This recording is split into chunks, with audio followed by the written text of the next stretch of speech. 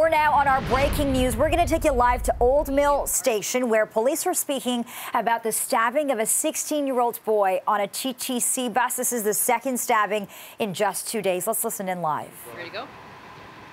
This afternoon at about 4 p.m., Toronto Police received a call for a stabbing that was occurring on a bus at uh, Old Mill Station. When officers arrived, they located a male youth with stab wounds to his torso and to his legs. He was taken to hospital by ambulance. He has non-life threatening injuries.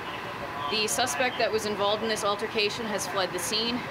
He is described as a male, unknown race, in his 20s, medium build, wearing dark clothing, and was last seen heading eastbound on Bloor. There were several members of the public who remained to provide statements to the police and would like to thank them for their cooperation. If anyone else was present on the bus and witnessed this incident, if you could please contact police at 22 Division 416-808-2200. Uh, do the two individuals know each other? It's still under investigation whether or not the two parties know each other, uh, and I don't have a definitive answer at this time. Can you give a description of uh, any individuals you're looking for?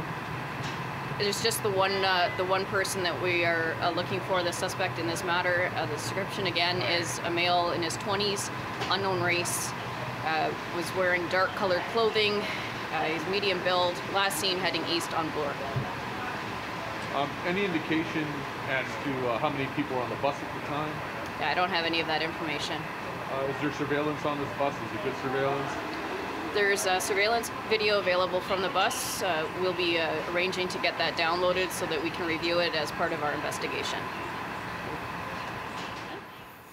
All right, that's police providing an update on this incident on the TTC bus where a 16 year old boy was stabbed in his torso and leg. Luckily, non life threatening injuries, but uh, he has been taken to hospital and the search for a suspect, a male in his 20s, continues at this point. Yeah, that investigation continues and police are trying to figure out if this was a random attack. We'll keep a very close eye on that story.